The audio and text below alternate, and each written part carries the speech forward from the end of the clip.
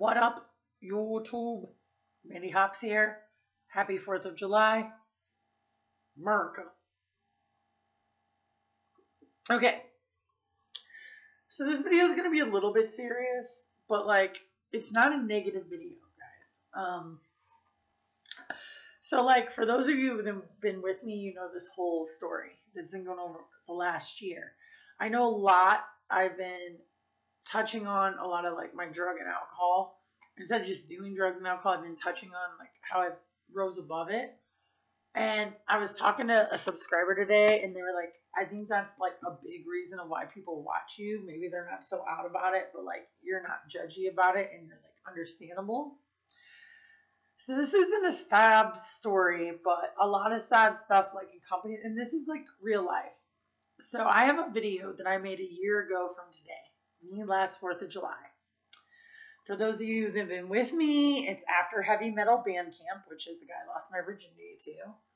Came all the way from Chicago during COVID. Uh, I'd already visited him. And we got into it. And I kicked his ass out. And I was like screaming and crying. There's a video because he got all like weird and psycho. And I was not going to have a dude tell me what to do in my house.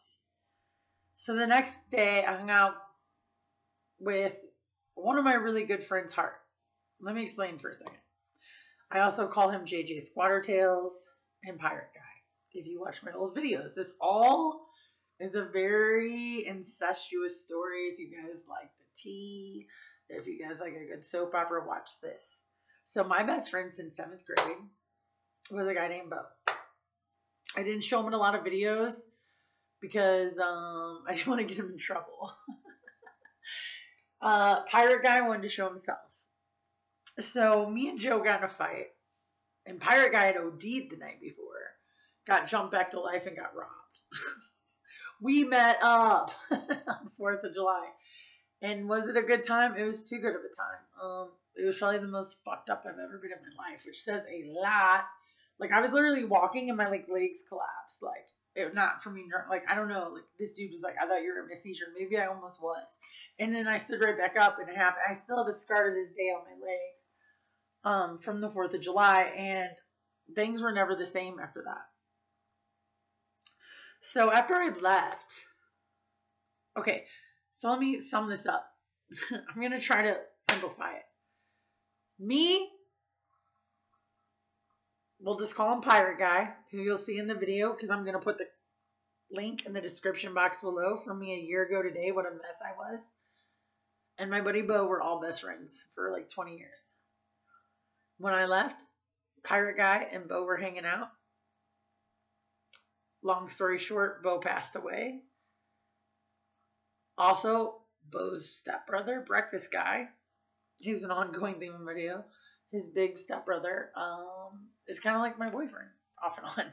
Like he's like, we have that relationship and we care about each other, but realistically, like we don't live together we live states apart and there's a lot going on, but we all love each other. Facts. Okay, so when I moved away, Bo and um, Pirate Guy were hanging out, and Bo OD'd. He got drunk and did some stupid shit. And I kind of feel like, and everybody kind of feels like Pirate Guy let him fall to the side. What nobody's feeling to realize now until he's out of the equation is like Pirate Guy was so suicidal and so lonely and so fucked up and had nobody to help him. Like he was down the rabbit hole. I see that now. Now that I'm over getting angry, like I'm still angry. I'm never gonna be completely over it. Um, but if it weren't for Pirate Guy, I would have never moved here. He said, Mandee, get out of here. There's nothing for you here.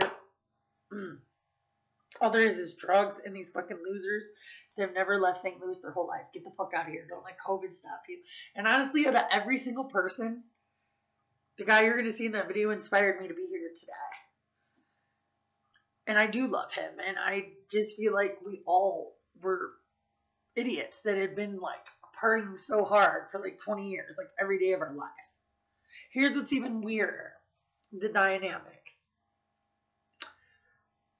So Bo's big brother, Breakfast Guy, and Pirate Guy worked together.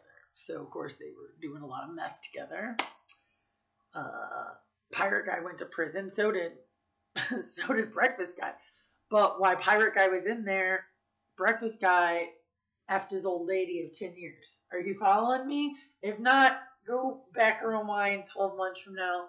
Follow me. You'll see everything leads up to this day, to now even. If you saw what a fucked up drug addict I was a year ago versus now, do I still drink? Yeah. Like I've come so far in here. And that's another reason, like, not only is it like, do I put it out for you guys? Because, like, dude, some of my favorite prison channels, um, like, shout out to Jay Williams, Let's Live Life. Uh, that's one of my favorite channels. Like, he tells you all the dirt he did in his channel. And if you guys hadn't heard about his channel, you late. But he talks about like how he's better from it and what he did differently and how he saw things then versus now.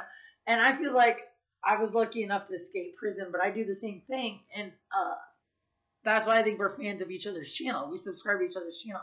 But not just his channel, like so many people. And it's not me, for me to like dwell on it. It's for me to just show you what a difference a year makes. I got myself out of there. I've had more people die in the seven months I've been gone than I've ever known in my life. So that says something and to come out in Vegas and like make it, like you have to be touched. And um, it's been such a part of my life. Like this whole ring between me, Breakfast Guy, Bo, and Pirate Guy, aka JJ Squatter Tails, aka Hart, whatever. Um, the only person I really didn't make a nickname for was Bo, but you don't know anything other than Bo. you know, you don't know his name, you don't know his brother's name, you don't know our best friend's name because I wouldn't put Bo on there because Bo was a dad and he was a great dad. Um, that just happened to unfortunately pass away, and I do um, have trouble dealing with it every day. But so now, a year later, the three of us, the three amigos, I'm here getting sober, and um, one's in prison and one's dead. I'm lucky I made it. Right? So, my whole point is, guys, uh, you know, the reason I have my channel is I can look back on how I was fucking up and how I'm doing good. So it's good. And it's 4th of July, and I'm good. And I'm glad you guys are good. And this is actually like a happy story. It's not a sad story at all. I mean, yes, the things that are happening to my friends, but I hope that my friend Hart, pirate guy, whatever, is getting the help he needs. Um, and I hope you guys can see how like things can be changed and you don't have to have a big intervention, you know, but losing a couple of your best friends will do it to you. Um, but no, I made myself move out here and I changed my ways and